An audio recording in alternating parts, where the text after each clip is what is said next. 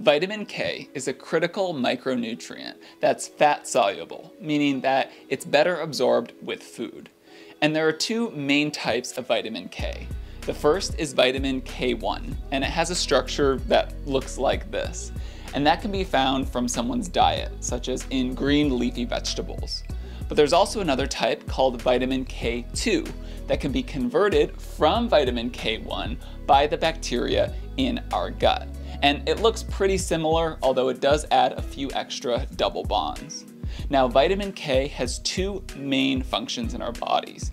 The first is with blood clotting, and that's because vitamin K1 helps with the protein production of those proteins involved in the blood clotting cascade. The second function is with bone health, and that's because vitamin K2 helps to activate osteoclasts, which build bone cells. And you may remember from our video on thyroid health and the bones that osteoblasts break down bone cells, but osteoclasts help to build new bone cells.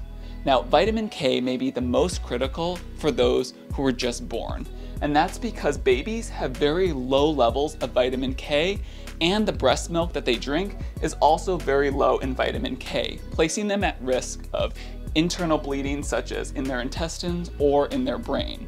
So they'll be given a vitamin K shot at birth to help reduce this effect of vitamin K deficiency bleeding.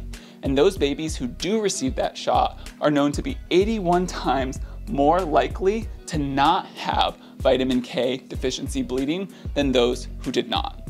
So to learn more about micronutrients and metabolism in general, make sure to check out the free webinar in this video description below.